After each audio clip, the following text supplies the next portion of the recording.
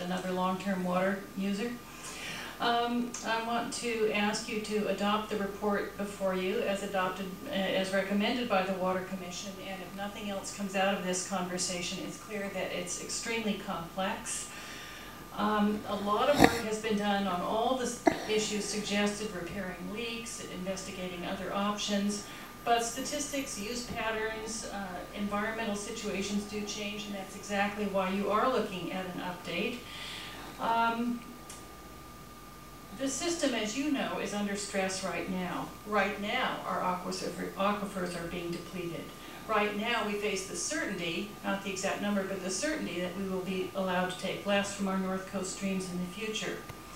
We know for certainty that as economic recovery happens and our general plan build-out occurs over the next couple of decades, uh, that there will be need for additional supply. And we, we know that there's great uncertainty about the future in terms of climate change and weather patterns. And to my mind, your responsibility is to do that long-range planning that ensures a safe, reliable, predictable water supply, building in conservation, building in repair.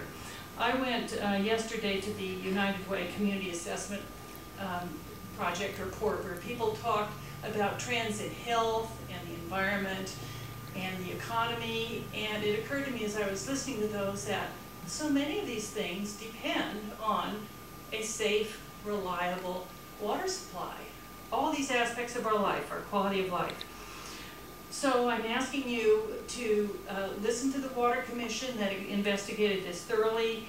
Um, I will say that the group Sustainable Water Coalition has uh, gained the support of some major economic groups in this community, the Chamber, the Conference of Visitors Council, and the Lodging Association, all of whom realize what um, the Thank you, importance of, of a safe, reliable water supply to this community. Thank you.